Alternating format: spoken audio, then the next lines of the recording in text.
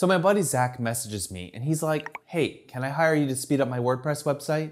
And I was like, dude, just do A, B, and C, and I'm pretty sure you'll see a huge performance boost. A few days passed and he said, the speed tips you gave me worked perfectly. So today I'm gonna show you how to speed up your WordPress site with three simple steps and take your site speed from something like this to this. Stay tuned. Google has used site speed as a ranking signal for desktop searches since 2010. And as of 2018, page speed became a ranking factor for mobile searches too. And even though speed improvements will only affect a small percentage of slow websites, faster page load times lead to better user experience and ultimately more revenue. In fact, a study by Google shows that as page load time goes up, bounce rate rises with it. Now, there are numerous reasons why your website might load slowly, but the most common reasons that I've seen are due to slow connectivity, caching, page size, and sometimes more technical reasons like render blocking JS. But if you're anything like Zach, who's not exactly the most technical person, then the three steps that I'm about to show you should help you get better performance from your site. Now, before we get started, it's important to note that the things I did for this site won't necessarily translate perfectly to your site.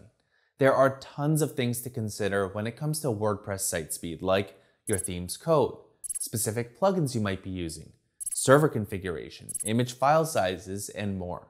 So as we go through the tutorial, I'll try and explain the more technical reasons behind poor performance so you can hopefully diagnose further issues yourself. All right, so let me give you a background on the website we'll be optimizing, and we'll start with some benchmark speeds. This is a brand new affiliate site built on WordPress using the free WP Astra theme. He's activated seven plugins, many of which will contribute to page load time in big and small ways. Now to keep things simple, I've run a single post which has text, images, and a video through three page speed tools. PageSpeed Insights shows a mobile score of 45 and a desktop score of 79. Pingdom shows a load time of 1.72 seconds, page size of 1.7 megabytes, and 63 requests. And GTmetrix fully loaded in 4.3 seconds with a page size of 1.55 megabytes and 61 requests. Now, since these tools only allow you to view one page at a time, I ran a full crawl using Ahrefs Site Audit tool. And if we look in Page Explorer, you'll see there were a total of 23 pages with a load time of one second or longer, which is basically all the site's pages. So there's definitely some room for improvements. So the first thing we did was to switch DNS providers to Cloudflare's free DNS service. Now, in order to understand why we use Cloudflare, you need to understand how the web works, at least at an elementary level.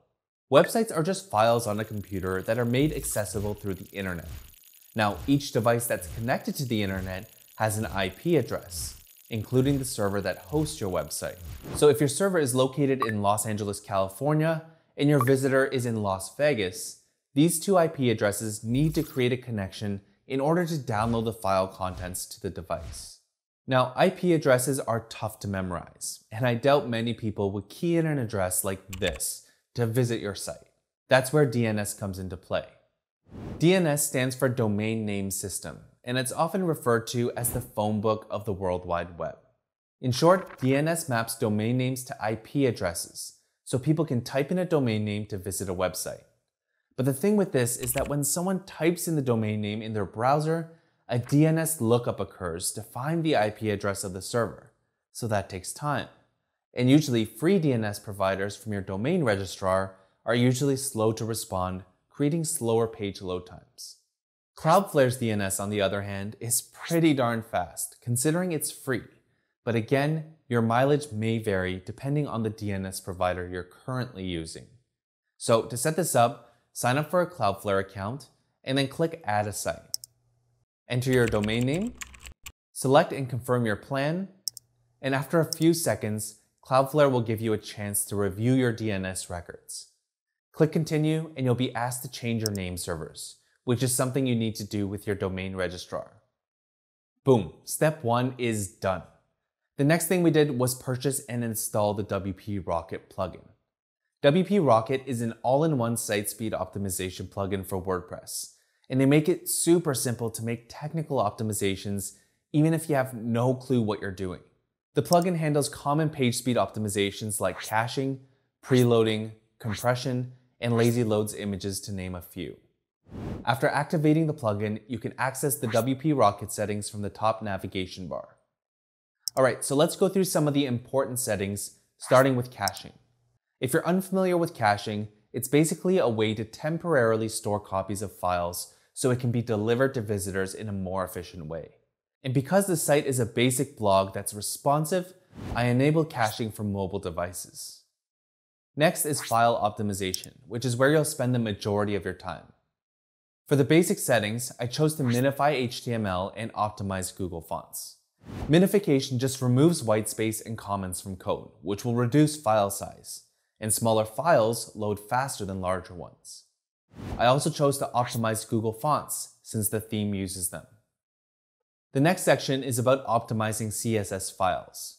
Again, I minified CSS files and also chose to combine them.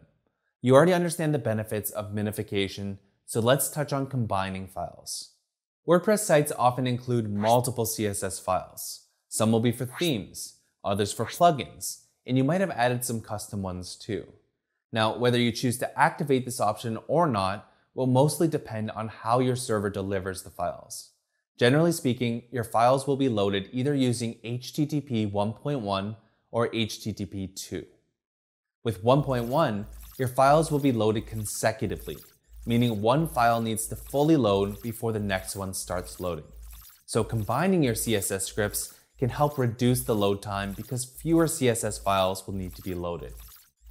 Now with HTTP 2, the files can load concurrently, meaning if you have multiple CSS files, they can begin loading at the same time. So combining them won't necessarily be as impactful. To see if your site uses HTTP 2, you can use KeyCDN's tester and key in your URL. The final option we enabled is to optimize CSS delivery. Basically, this option will generate CSS needed for content above the fold and asynchronously load other CSS files so they don't block the rendering process. Now, these concepts can be quite technical, so I won't expand on these, but in general, these are page speed optimization best practices. All right, let's scroll down to the JavaScript file section. So first, I removed jQuery migrate, which is a file that's been added to WordPress since version 3.6. Now, since there weren't any issues with jQuery for this theme or any plugins, I chose to disable it as there's no point in loading an additional script without purpose. Again, we chose to minify JS files as we did with HTML and CSS and combined our JS files since there were no conflicts or issues. And the last option we enabled is to defer loading of JavaScript.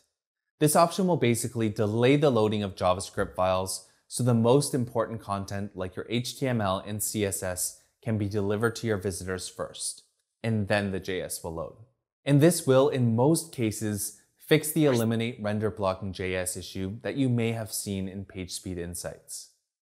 Now it's important to note that if you choose to minify, combine, and or defer your JavaScript files, things may break on your site. So it's important to actually test your site's functions before permanently leaving it on. All right, let's move on to the media category. Here I've chosen to lazy load all media files. Lazy load improves page speed because it defers the loading of images and videos until they're visible on the screen. In fact, WordPress 5.5 will lazy load images by default, so you won't necessarily need a plugin if you just want this feature. Next up is preloading. Preloading allows you to define essential resources so that browsers know the priority of files that should be loaded first. For example, let's say that your HTML code looks like this. Based on this code, the JavaScript file would need to load first, simply because of hierarchy. Of course, you could edit the code, but that can get messy and confusing if you don't have coding knowledge. But if we add another link tag to preload the style sheet, then this would tell browsers to load the CSS file with a higher priority than the JS file. And that's exactly what this option in WP Rocket does for you. Now, the last thing I want to talk about here is using a CDN. And it's easiest to understand how these work if we look at our first example of how devices connect to web servers. So again, if the server is in LA and a visitor is in Las Vegas, it probably won't take very long for the two devices to connect, seeing as they're relatively close in proximity. But what happens when someone from Germany, India, Australia, or Singapore tries to connect to the web server? It's going to take longer, and that's where CDNs can help. CDN stands for Content Delivery Network. And that's exactly what it is a network of servers located all over the world that delivers content to visitors as fast as possible. By using a CDN, you're essentially caching files on multiple servers globally. Then, when a visitor tries to access your site, it'll connect them to the one that's closest, creating a faster connection between the user and the content. So, if your site attracts a global audience, then it might be worth signing up for a CDN service enabling the option in WP Rocket and adding the appropriate CNAME. Now, there are other free caching plugins that have a lot of these features like Autoptimize and W3 Total Cache, but I personally prefer to pay a small fee for WP Rocket as I've had the best results with them. And the final step in the site speed optimization tutorial is to optimize your images. Now, since we've already added lazy load to images, this will solve a lot of problems. But if you're using featured images that are above the fold on load, then lazy load isn't going to help. Plus, smaller images will save you with storage space. So the simple solution is to compress your images using lossy or lossless compression. And there's some great plugins that'll do this for you like ShortPixel and Imagify. Now to give you an idea of how much image compression can help, take a look at the WordPress media library here you'll see that ShortPixel has reduced the image sizes by quite a lot, which will help improve page speed. ShortPixel also has a feature that lets you serve images in the WebP format, which basically lets you compress images even further without compromising quality by much. Just go to Settings and choose ShortPixel, then click on the Advanced tab. From here, you'll want to make sure that you've checked this box so ShortPixel creates a WebP version of your images. So now that we've done the three main optimizations for WordPress site speed, let's run the PageSpeed tools and compare them with our original benchmarks. On PageSpeed Insights, the page previously scored a 45 on mobile and now has a score of 95. It had a desktop score of 79 and now has a near perfect desktop score. On Pingdom, the page previously loaded in 1.72 seconds with a 1.7 megabyte page size and 63 requests. With the new speed test, you'll see there was a significant decrease on all three metrics. Page size is just over 900 kilobytes. Load time came in at 200 milliseconds, and the number of requests have shrunk by nearly 3x. And you'll see the same pattern for GTmetrix, an improvement across the board. Finally, I ran a new crawl of the site with Ahrefs Site Audit, and as you can see, every single page loaded in under a second. Now, these are the steps that worked for Zach's site, and I've used it for other sites with success. But remember, each WordPress configuration will be different since you might be using a clunkier theme, more resource consuming plugins, have inferior hosting, or you have tons of third party tracking scripts. So if you're still unhappy with your site speed after making these optimizations, then you'll likely need more custom work done for you. So you may want to consider removing plugins and scripts switching themes, or hiring a developer to make the appropriate fixes. So give it a shot, and if you enjoyed this tutorial, then make sure to like, share, and subscribe for more actionable SEO and marketing tutorials. And let me know in the comments if these tips helped you boost your WordPress site speed. I'll see you in the next tutorial.